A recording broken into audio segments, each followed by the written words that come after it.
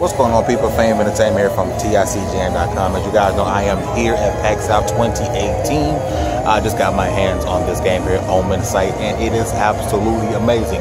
If you guys have played Stories, Path of Destinies, if you guys haven't, you should have. I have been preaching the gospel of this game. It's absolutely amazing. It was first recommended to me by your king of indies, Mr. Nicodemus X. So I bought it when it came out, and this game it goes along the same path as Story, The Path of Destiny. It's an amazing game.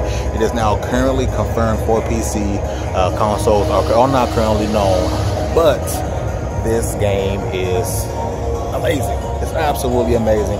I had a blast playing it. Here's a here's a, a clip from it now.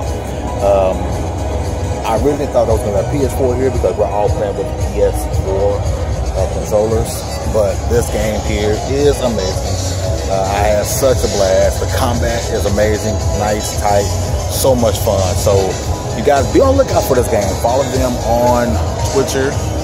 And you should be following me as well at FameNT2K. Follow them on Twitter. Check this game out. I will be putting up some uh, gameplay things like that later on uh, on my website. Uh, oh yeah, on our website, TICGN.com, possibly on this channel here. But you guys will definitely be hearing more about Omensight. Check it out. Follow these guys on Twitter. The Fame Entertainment from TICGN.com. I am at PAX South 2018. You guys have a great one. And I'm out.